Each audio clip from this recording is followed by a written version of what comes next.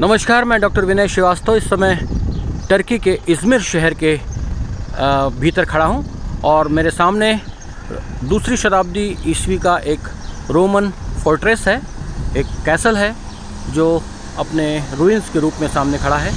ये सामने कैसल का मुख्य द्वार। ये कैसल दूसरी शताब्दी ईस्वी में ध्वस्त हो गया था, लेकिन उसके बाद इसका पुनर्निर्माण नहीं कराया गया, क्योंकि इसकी ज़रूरत नहीं समझी गई। इज़मिर का ये सबसे पुराना कैसल है, रोमन पीरियड का, अर्ली रोमन पीरियड का। और इस समय हम इज़मिर के सबसे हाईएस्ट पीक पर खड़े हैं। ये सामने ठाठे मारता हुआ समुद्र, एजियन सी है, जो कि टर्की और ग्रीक के बीच का एक डिवाइडेशन सी है। और ये पूरा इजमिर शहर, जो कि तीसरा सबसे बड़ा शहर है टर्की का जनसंख्या के लिहाज से। बहुत ही खूबसूरत पैनोरमिक व्यू यहाँ से दिखलाई पड़ रहा है। चारों तरफ़ पहाड़ियों से घिरा हुआ और समुद्र के किनारे बसा हुआ इजमिर शहर, टर्की का तीसरा सबसे बड़ा शहर है।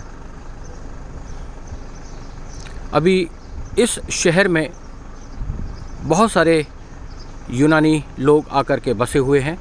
जैसा कि आप देख सकते हैं कि टर्की और ग्रीस के बीच का ये समुद्र है और यहाँ से ग्रीस की सीमा रेखा बहुत नज़दीक है।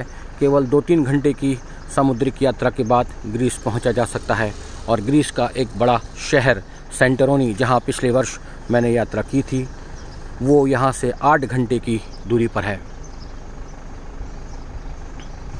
इज़मिर छठी शताब्दी ईस्वी का आर्च बिशप वाला शहर है। यहाँ पर आर्च बिशप रहा करता था, जिसका निवास स्थान अभी हम देख करके आए हैं।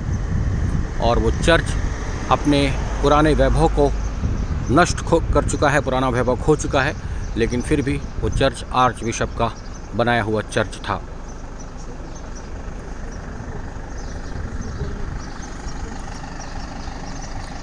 तो टर्की का ये पुरातन वैभव अपने परंपरागत स्वरूप में हमारे सामने ये टर्की का फ्लैग और पास ही एक ग्रेवयार्ड है, जहाँ पर टर्की के विभिन्न युद्धों में मारे गए या शहीद हुए सैनिकों की कब्रें हैं और उन्हें पूरे सम्मान के साथ दफनाया गया है। मैं doctor Vinay Srivastava, Izmir, Turkey से आपके लिए ये दृश्य रिकॉर्ड कर रहा हूँ। ये एक बंदरगाह भी है, एक पोर्ट भी है। समुद्र के बीचों बीच में अनेक पोर्ट आप देख सकते हैं, अनेक जहाज़ आप देख सकते हैं, अनेक फेरीज आप देख सकते हैं। तो एक बड़ा ही सामरिक महत्वपूर्ण शहर है इज़मिर। यदि ये वीडियो आपको पसंद आया है तो आप इसे ज़रूर लाइक कीजिए और मेरे YouTube channel historical world tourism पर इसे शेयर कीजिए। मैं doctor Vinay Srivastava Izmir Turkey से।